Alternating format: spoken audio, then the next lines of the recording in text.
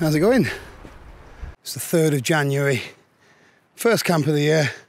I was hoping to get up in the hills, but it's forecast 40, 50 mile an hour up there. So we're camping much lower down today.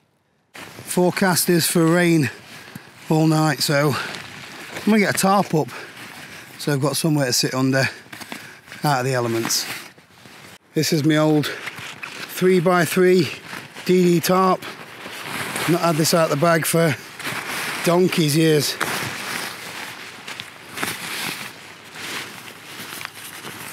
Hope I can remember how you set it up.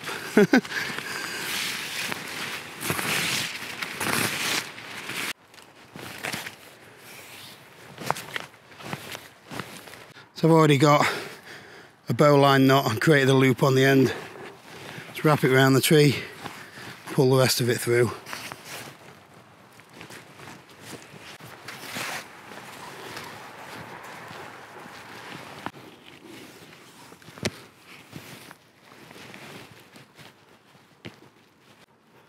Trucker's hitch.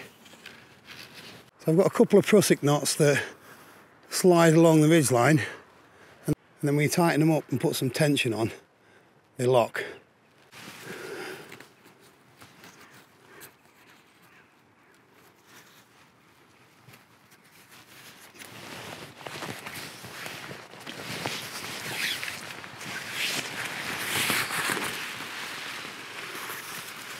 All I've done, loop through the loop and then just locked it off with a stick.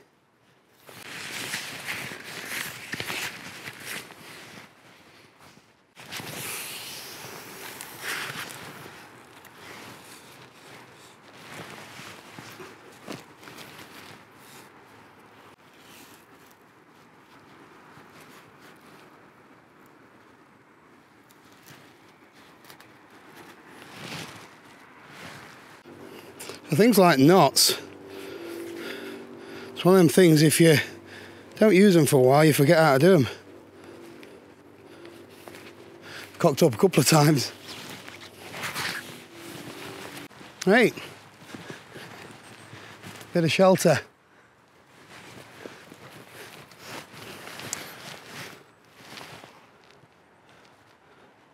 There is, however, a bit of a dip there, so I'm going to lower one corner and then when the rain comes, the water will run off easily.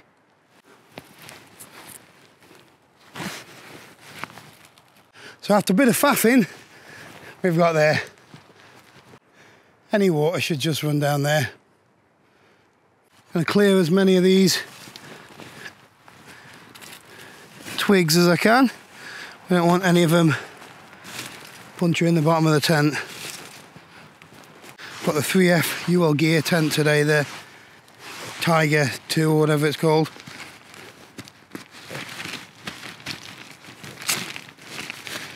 Plenty of room in this.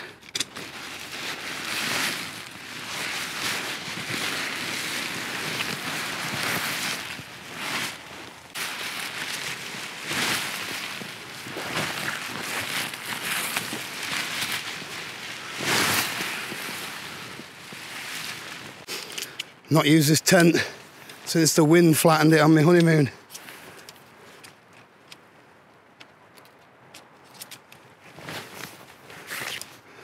Poles are a little bit bent. Don't know if you can see it. Probably not. I don't think I'd take it up on on the high parts again. Don't trust it.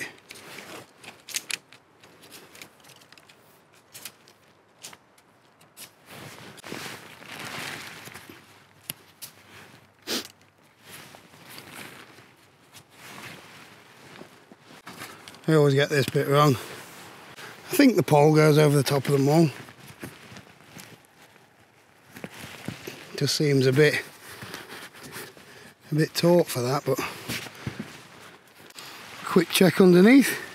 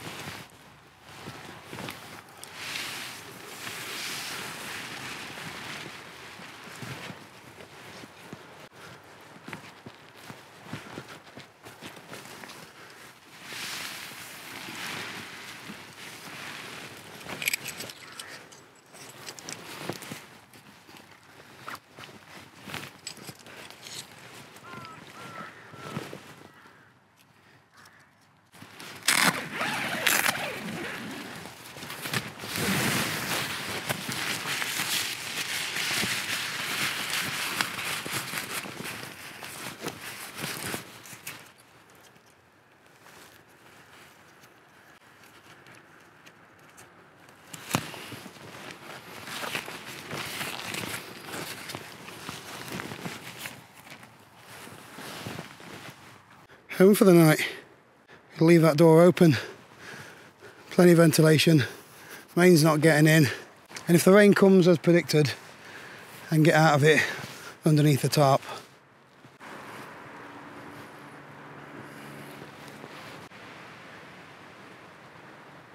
So when it gets dark, I only have a couple of little lights.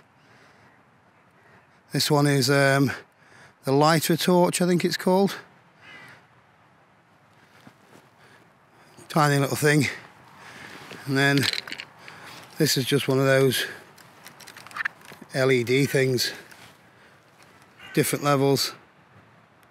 If it turns on, better turn on because I charged it, it has done. And then there's a diffuser on it just to soften the light a little bit. So that's without the light. And that's only on 15% brightness. It's not bad for something that fits in your pocket.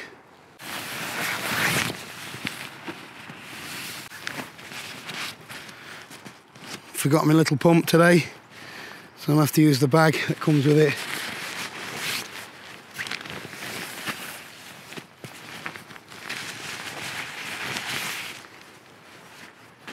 Just shove it over the top of the valve.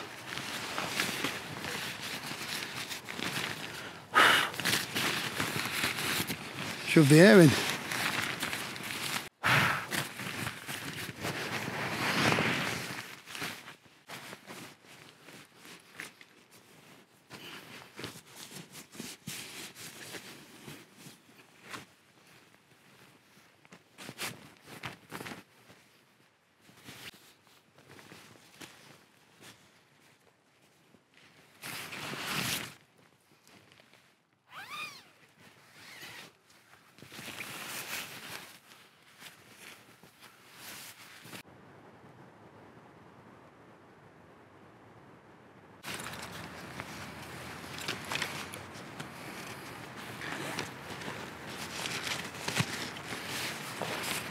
Weather forecast making a liar out of me again.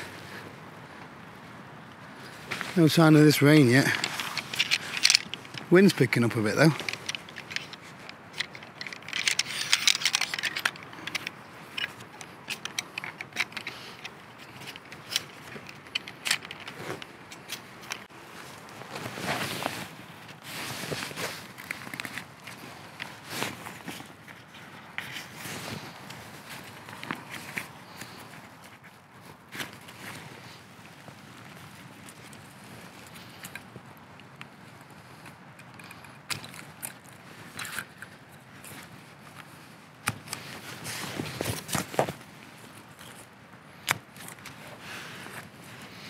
Someone's asked about these before.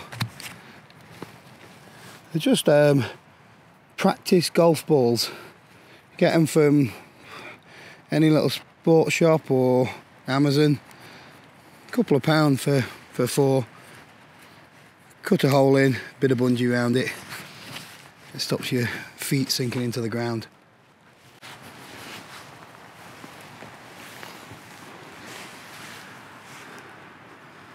It's better.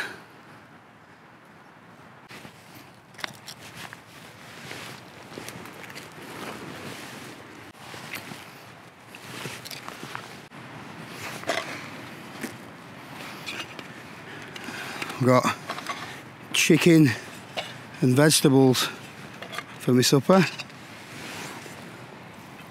Gonna get kettle on first though. Oh, there goes my stove.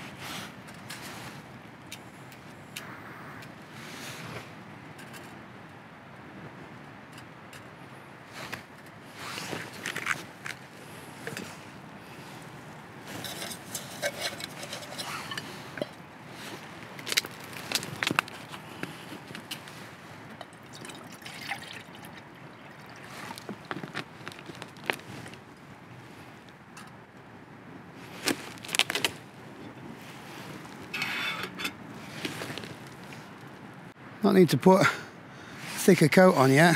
I've still just got the shell on and uh, light fleece. Watch says it's 10 degrees, so it's quite mild.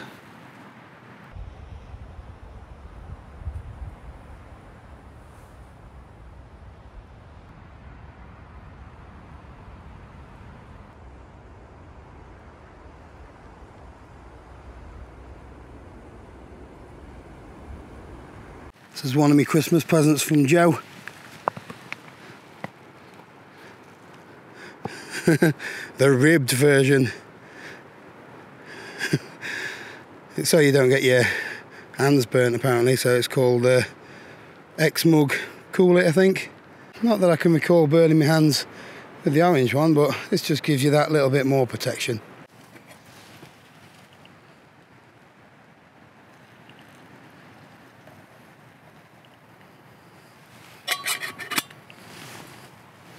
Would you Adam and Eve it? it works. Little fins stop you burning your pinkies. Cheers, Joe. Get some dinner on. Gonna swap this for the Trangia. Get a little bit more control with that. Although you can use the lid as a simmering just by, you know, opening and closing the gap. But I like the Trangia especially when I'm using the frying pan.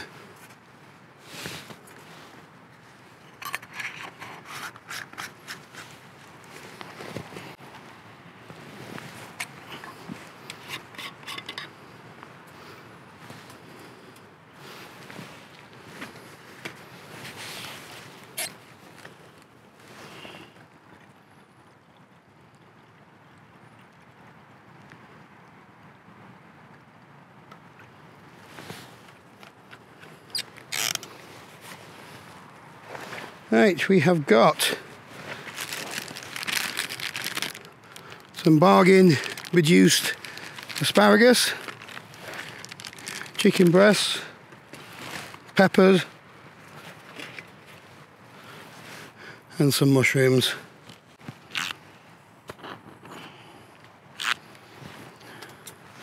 We'll let it bloom.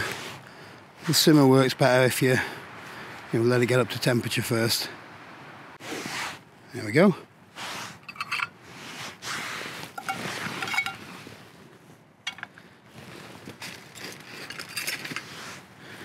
Bit of olive oil, extra virgin. Go watch the Micky Flanagan gag.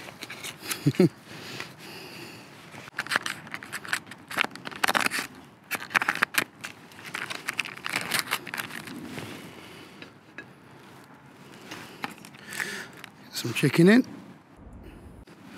There's no sizzle there.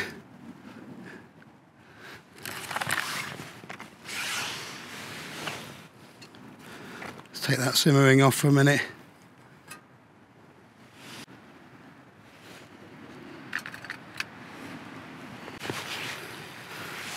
Right, we're getting somewhere. Bit of steak seasoning. That's all I've got. It's all flavour.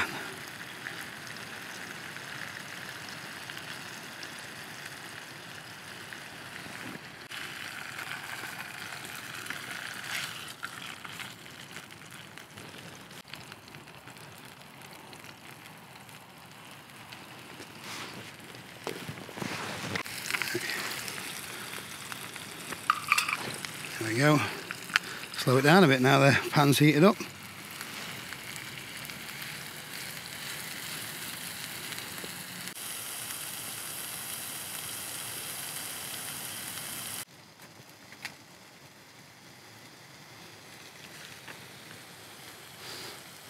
Starting to smell awesome already.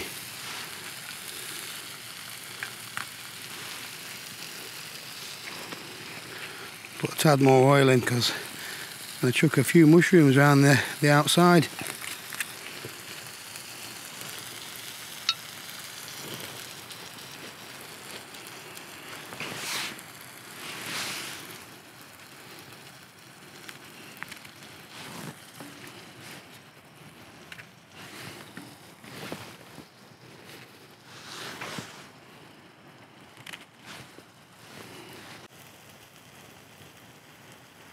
This smells amazing.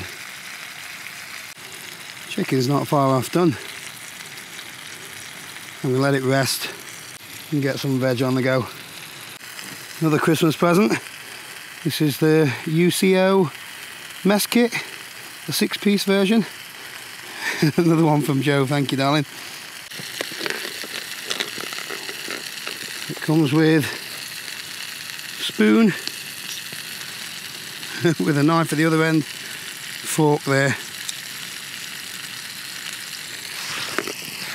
And then you can take these little rubber things off if you want to. You've got a not leak proof but leak resistant um, double plate there or bowl and then there's a, a cup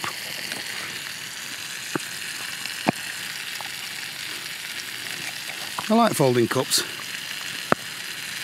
this one's got a handle Let's have a look how this chicken is doing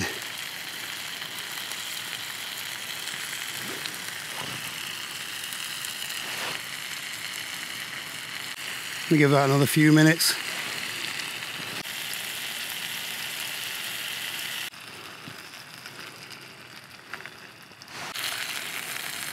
Right, I'm going to let that chicken rest.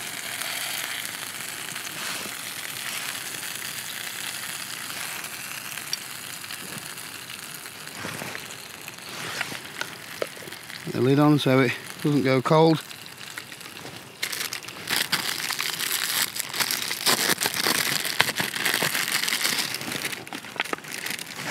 Bit more veg in the pan.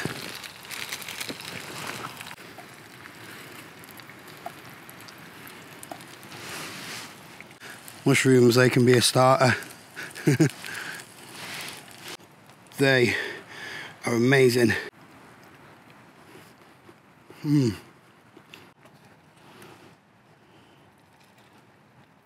Seasoning's awesome.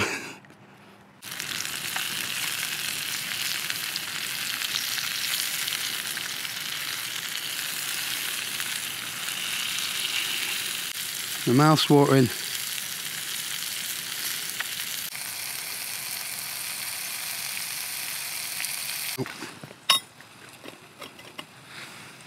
There we go.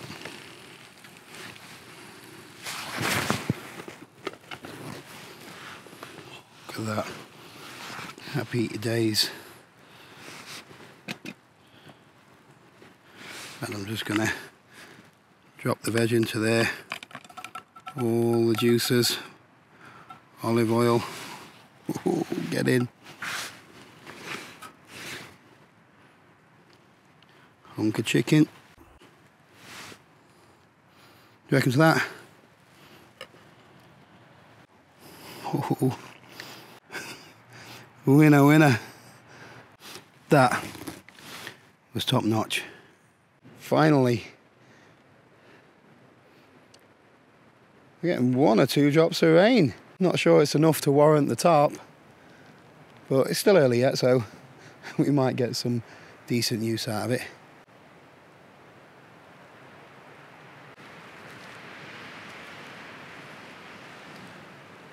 See if we can see any eyes staring at us.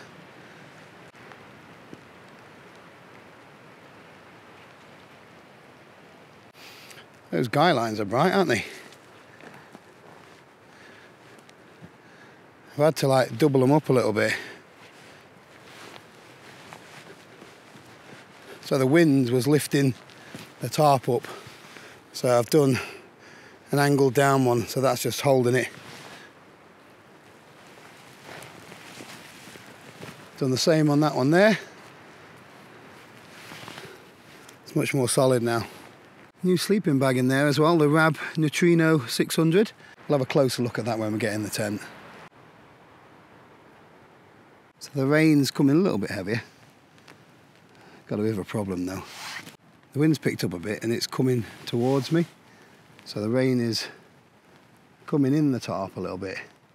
So I think I'm going to lower that end down a bit, see if it gives me a little bit more protection.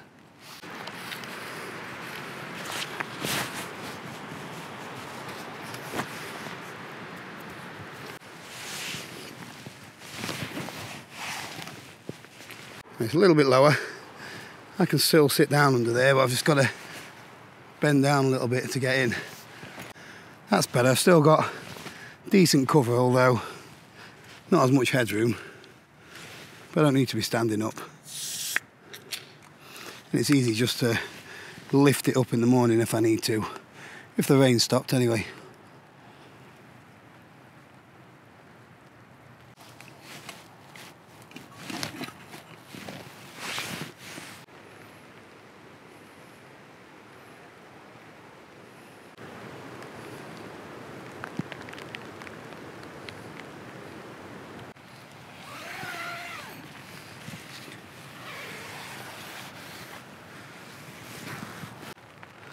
This is the new bag. Neutrino 600 wide version. Uh, hydrophobic down, Pertex shield, so it's going to be moisture resistant, so good for conditions over here in the UK. I'll give you a better look in the daylight tomorrow um, and let you know how it went on the first night. If you can guarantee that there's going to be hardly any wind, this tent is awesome. the amount of room that you get, acres of headroom. There's loads of room inside the tent as well. I'm going to close the fly sheet just in case my tarp goes uh, walkabouts in the middle of the night if the wind picks up.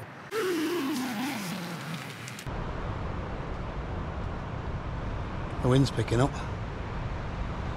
It's not low down here, but tops of the trees are taking a battering.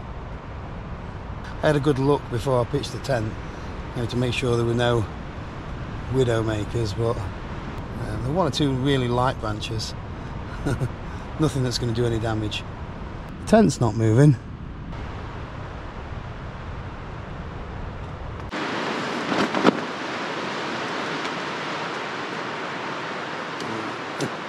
It's moving a little bit now.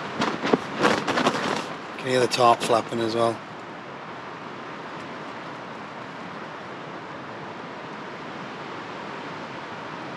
We'll be alright.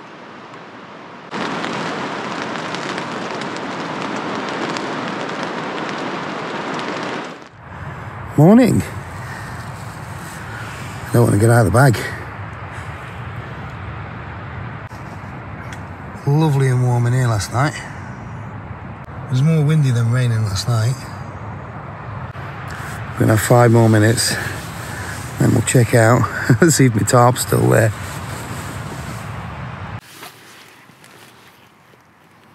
Still got a tarp. Bit flappy, but not complaining. Gorgeous morning.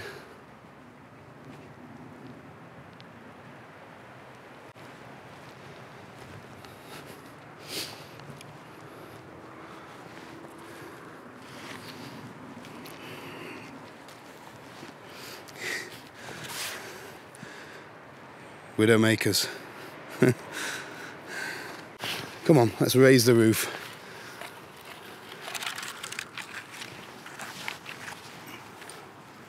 So because the ground's really soft, double pegging it, so one peg in there and then just support that peg with another. Used that a few times up in the hills as well.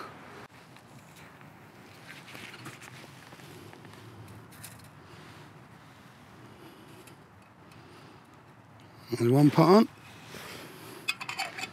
It's the important one today.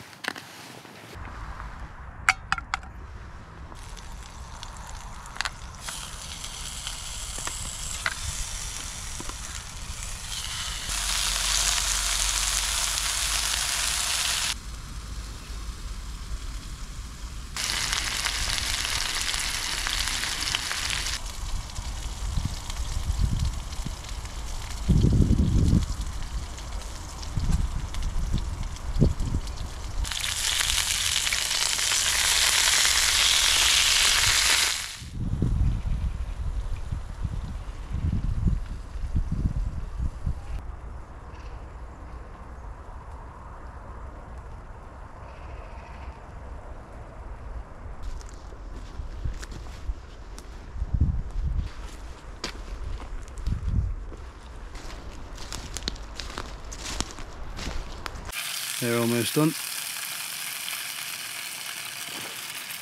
Tarp's done a pretty good job. For what little bit of rain we did get, the tent is actually bone dry this morning.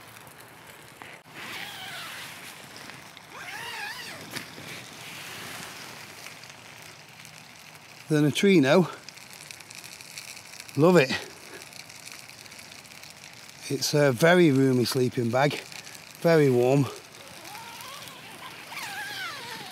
It's um, the reason I stop using sleeping bags normally is that they're quite restrictive and they don't give me room to move around. But yeah, that one's got acres of space inside. You can still cinch it up around you. Um, I really like it. Well, as you know, I am a Rab fanboy, but they make really good gear and the neutrino is no exception. So one thing I've learned from this one is I need to practice my tarp setups. Not done it for a while and it wasn't perfect. I've got cordage all over the place, look. Normally I have the ridge line down the middle and it's with a hammock, but it is what it is. I will learn from this one. Right, I'm going to switch this off in a minute. I'm going to have a little bit of me time. Um, sometimes when you bring the camera everywhere, you forget that um, you want to enjoy the moment yourself. It's a gorgeous morning. You can't beat a bit of quality me time with your sausage. Anyway, thanks for watching, and I'll see you next time. Sausage!